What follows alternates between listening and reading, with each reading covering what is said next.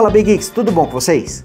Galera, nesse vídeo aqui vocês vão conhecer um fone de ouvido TWS muito especial. Estou falando aqui do Nothing Ear Stick. Um fone de ouvido bonito e estiloso, com um aplicativo bem funcional, ótimos controles. E olha, esse produto aqui pertence ao mesmo cofundador da OnePlus. Ele fundou essa empresa, a Nothing, já criou o Nothing Ear 1, o Nothing Phone, que é um smartphone muito interessante. Inclusive, o Dudu Rocha, o Rudi Caro tem um desses. Deve ter vídeo também, se tiver eu deixo o link na descrição. Eu estou com o fone TWS, o segundo modelo que eles estão lançando, um produto bem estiloso, vocês vão conhecer e vão curtir bastante, eu tenho certeza disso. Eu já fiz os testes do Novin Air Stick, tanto que o unboxing dele vai ser raiz, mas eu coloquei tudo na caixa para poder mostrar para vocês. E vou contar como foi a minha experiência, o que, que eu gostei o que eu não curti muito. Teve alguns pontos aqui que eu não curti muito nesse fone, eu vou contar tudo isso para vocês. Mas antes eu vou pedir para você deixar aquele like esperto, que ajuda muito o canal a continuar crescendo. E você que ainda não é inscrito, aproveite também para se inscrever, ative o sininho para receber as notificações dos novos vídeos e torne-se Geek você também. E tem link do Nothing Air Stick aqui na descrição. Ele é importado, mas fones de ouvido dificilmente são taxados, então dificilmente você vai pagar qualquer taxa de importação. É sempre bom estar prevenido, guardar um valorzinho extra aí para poder pagar as taxas de importação, mas dificilmente você será taxado.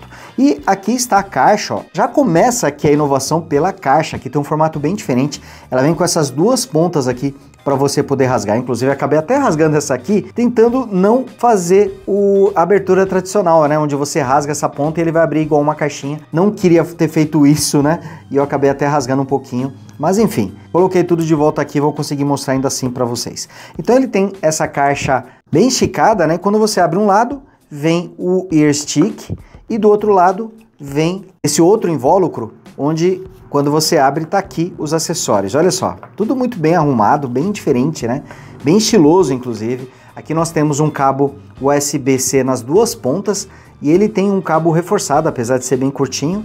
Aqui nós temos o manual, ele está em várias linguagens, mas infelizmente não temos o português. Mas é muito fácil de usar, eu vou explicar aqui para vocês. Também temos esse QR Code aqui para você escanear já é direto para o aplicativo da Nothing. Tem um aplicativo tanto para iOS quanto para Android, ele vai funcionar bem nos dois. Então a caixa aqui é bem diferente, bem estilosa e olha só o estojo, como ele é bonito. Realmente é um dos fones mais bonitos que eu vi aqui, não só pelo seu estojo, mas o próprio design do fone. Mostrando aqui o estojo, ó, nós temos essa porta USB tipo C e ele fica nesse invólucro de acrílico e você não solta ele, você simplesmente gira aqui para ter acesso aos fones. Ó. Fechou aqui, ele vai ficar protegido, vai ficar carregando. Girou, abriu aqui e aí você tem acesso aos fones.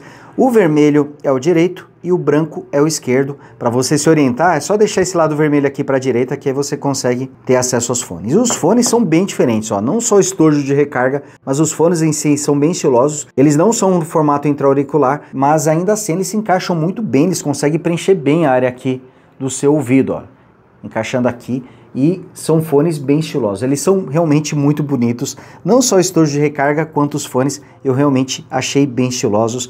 É curioso ver que não existe aqui uma marcação de direito e esquerdo, né, RL, mas você só consegue se orientar pelos pontos, né, o vermelho é o direito, enquanto que o branco o esquerdo. Então um fone realmente bastante estiloso. Inclusive aproveitando para explicar um pouquinho melhor sobre a Nothing, ela foi essa empresa ela foi criada pelo cofundador da OnePlus. Ele foi cofundador e foi diretor da OnePlus por muito tempo. Ele saiu da OnePlus e criou a Nothing, criando o Nothing Phone, que é um smartphone bem diferente também, bem estiloso. Aliás, os produtos que a Nothing criou, todos eles têm essa pegada no design, um, trazendo um estilo bastante diferente, né? Então tivemos o Nothing Phone, o Nothing Ear 1, que é um fone de ouvido intra-auricular. Inclusive ele custa na mesma faixa de preço aqui do Nothing Ear Stick, achei isso bem curioso. E temos também o Nothing Ear Stick.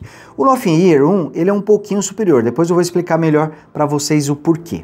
Mas enfim, então temos aqui esse fone que foi desenvolvido pelo cofundador da OnePlus. Então por aí você já pode ter ideia da qualidade do produto, já que é, os smartphones da OnePlus, principalmente lá no comecinho, né? Agora perdeu um pouquinho essa essência, mas lá no comecinho sempre foram smartphones que traziam muito desempenho, com um design bonito, com boas telas, com muito desempenho e principalmente com um preço bastante competitivo. Bom, deixa eu abrir aqui o aplicativo da Nothing, que é o Nothing X. Aqui, olha, temos Já o Ear Stick conectado, a conexão é bem simples, você consegue fazer diretamente por Bluetooth ou se você baixar o aplicativo, quando você tira os fones, o próprio aplicativo já faz a detecção, claro que você precisa estar com o Bluetooth conectado, né? Mas ele faz a detecção e também a configuração. E por aqui você consegue configurar os gestos com o fone e também consegue alterar o equalizador. Com o fone de ouvido, deixa eu colocar ele de volta aqui para mostrar para vocês. Aliás, deixa eu mostrar um detalhe aqui no visual. Os controles dele, para você alterar, eles ficam aqui nessa ponta, ficam aqui na haste. E o interessante é que é um controle de pressão. Você pressiona com os dois dedos aqui no canto para poder controlar. Inclusive ele até começou a tocar uma música aqui, ó. Acho que dá até para ouvir, ó. Aqui ele está tocando música e aqui deu um toque para ele poder pausar a música. Então, o controle não é exatamente por toque, sim por uma leve pressão que traz pontos positivos e pontos negativos. O ponto positivo é que se você estiver usando os fones deitado, dificilmente haverão toques acidentais, porque você precisa fazer a pressão aqui na haste e quando você encostar no travesseiro, por exemplo, ele não vai acidentalmente acionar algum comando.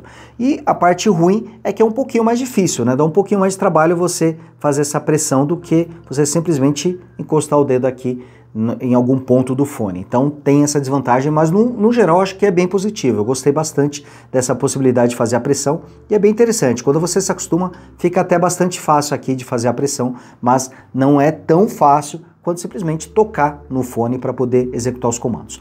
O que eu achei bem interessante é que ele vem com uma configuração padrão que você consegue alterar através do aplicativo aqui da Nothing. Mas o legal é que ele já vem com um controle bem interessante. Quando você dá um toque em qualquer um dos fones, né? Aliás, quando você pressiona em qualquer um dos fones, você toca ou pausa a música, ou você atende ou encerra uma ligação, quando você está utilizando durante uma ligação. Se você der dois toques em qualquer um dos fones, você vai para a próxima faixa, três toques retrocedem para a faixa anterior. Achei isso aqui bem legal, dá para você avançar ou retroceder de faixa com qualquer um dos fones.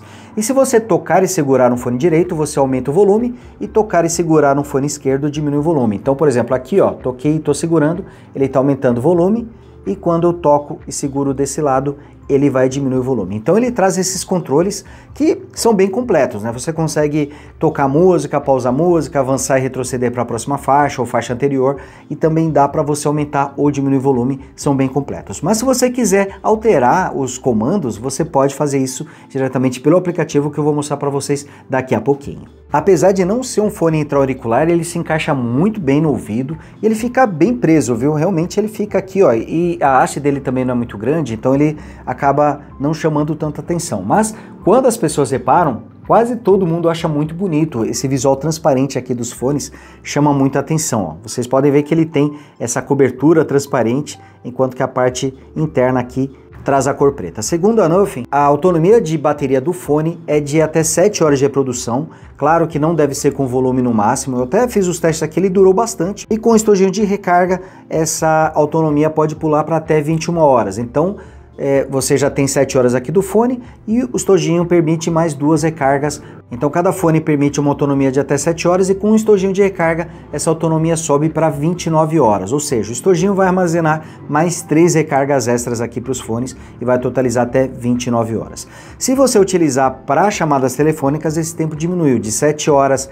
passa para 3 horas de conversação contínua, isso porque vai sempre utilizar o microfone também, então por isso é, o consumo de bateria aumenta e a autonomia acaba caindo. E algo interessante é que, segundo a Nothing, 10 minutos de recarga no estojinho permitem até 2 horas de reprodução de música. Então, se a bateria acabar, você deixar por 10 minutinhos aqui no estojo, consegue até 2 horas de reprodução de música. Achei isso aqui bem interessante também. E aqui reabrindo o aplicativo da Nothing, que se chama Nothing X ou Nothing X, como vocês preferirem. Tem para Android e para iOS também, então dá para você utilizar até mesmo nos iPhones. Aqui já com o EarShake conectado, reparem que ele mostra direitinho qual lado direito, esquerdo, temos o nível de bateria.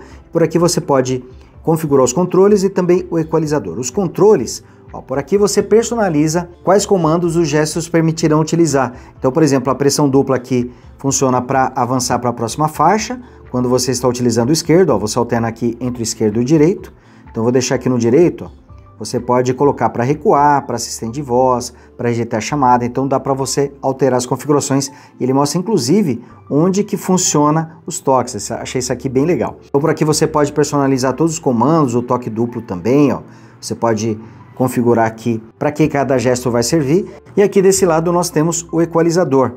Aqui é uma configuração bem interessante também. Ele já vem com esses modos pré-definidos, ó, equilibrado. Temos aqui os mais graves, onde ele vai priorizar os sons mais fortes, os mais agudos, onde ele vai priorizar os sons mais finos. Nessa opção ele vai priorizar a voz e você pode usar o equalizador personalizado, que para mim foi o melhor. E a minha configuração personalizada foi a que eu mais gostei, onde eu deixei os graves no máximo, os agudos quase no máximo e deixei os médios um pouquinho abaixo, mas aí você pode personalizar de acordo com o seu gosto. O tom mais grave ficou bem legal também, eu gostei muito dele, mas para mim Acho que pela primeira vez eu preferi usar uma configuração personalizada para que ele tivesse o ajuste ideal. Pelo menos para mim funcionou melhor aqui com o tom personalizado. E o legal é que você vai arrastando aqui, ó, tá vendo? Tem esse círculo aqui, é muito fácil, muito intuitivo, né? Gostei muito da interface gráfica do aplicativo, então por aqui você controla qual é o nível que você quer deixar. Os graves eu deixei aqui no nível máximo e quando você usa as outras opções ele vai mostrar como é que vai ficar, como é que tá a configuração aqui de acordo com os modos pré-definidos. E falando um pouquinho da qualidade de áudio, ela é ótima, gostei muito da qualidade do áudio, mas aqui tem um detalhe importante. Quando eu deixei aqui no meu equalizador, no modo personalizado, com os graves no máximo, os agudos quase no máximo, nesse modo, dependendo da música, ele distorce um pouquinho o áudio com o volume máximo. O volume dele é bastante alto, já vou adiantando isso para vocês, então ele tem um volume muito alto não chega a irritar, mas fica próximo disso. Acho que se ouvir por algumas horas eu vou me sentir incomodado de deixá-lo no volume máximo. Mas em todo caso, quando eu deixei no volume máximo, com o meu equalizador personalizado, ele distorceu um pouquinho o áudio, principalmente nas batidas mais fortes. No modo mais graves aqui do aplicativo, isso não aconteceu, apesar de talvez em algumas situações ele distorcer. Comigo não aconteceu, mas pode ser que aconteça. Eu fiquei com essa sensação. Então você vai precisar diminuir o volume um pouquinho para não ter essa distorção, principalmente se você personalizar e deixar os graves aqui no nível máximo. Então não curti muito isso, mas em todo caso, como o volume é bastante alto, dá para você deixar um pouquinho abaixo do volume máximo, sem distorção, e ainda assim você vai conseguir ouvir as músicas aí com uma boa qualidade, com um bom volume também. Então o Noth Ear Stick é um fone bonito, estiloso, tem um estojo que eu achei sensacional, realmente eu gostei muito desse esqueminha de você girar. E detalhe, tá? Você pode girar para qualquer lado, ó. Sempre que ele tiver virado para cá, fechadinho, ele vai estar tá carregando, vai estar tá guardado e quando você quiser utilizar, basta você girar aqui quando você for tirar os fones, ele já faz a conexão. Só de você girar aqui, ele já faz a conexão e por aqui você faz o carregamento. Então ele tem um estojo muito bonito. Os fones também são visualmente muito bonitos e bastante confortáveis. Ele não traz é, borrachinhas extras, até porque não tem um borrach borrachinha aqui com fone. É, aqui pelo formato vocês podem ver que ele não traz a borrachinha. Então no geral um fone com uma qualidade bem legal. Mas ele tem alguns defeitos. Deixa eu pausar aqui a música que começou a tocar, mas enfim, ele tem alguns defeitos. O primeiro deles é o preço que não é tão convidativo assim. Esse fone ele pode ser encontrado na faixa de 500 a 560 reais. No dia que eu estou gravando esse vídeo ele está saindo por 555 reais, mas tem cupom de desconto e aí eu consigo pagar 500 reais por ele, mas o preço vai ficar nessa faixa, aí, mais ou menos 500 a 560 reais. Não é um preço tão convidativo. Tem fones muito bons que custam menos do que isso, mas por outro lado eu acho um valor bastante justo. Pelo que o fone oferece, pelo design, pelo seu estilo, eu achei que realmente é um fone muito bom pelo preço que custa, mas claro, existem outras opções com uma qualidade semelhante, custando menos do que o Nothing Ear Stick. Mas o que mais me incomodou aqui foi o fato desse fone ter um preço um pouquinho mais elevado e ainda assim não oferecer o cancelamento de ruído ativo, um recurso que está presente em fones mais baratos, que já ficou até um pouco comum. Pelo formato dele, ele até consegue isolar bem o som externo, mas com certeza o cancelamento de ruído ativo seria um recurso, um adicional bem mais interessante, traria mais valor para esse fone. Talvez se ele fosse um pouco mais barato, isso não fosse me incomodar, mas pelo seu preço, eu acredito que ele deveria trazer o recurso de cancelamento de ruído, o recurso ANC.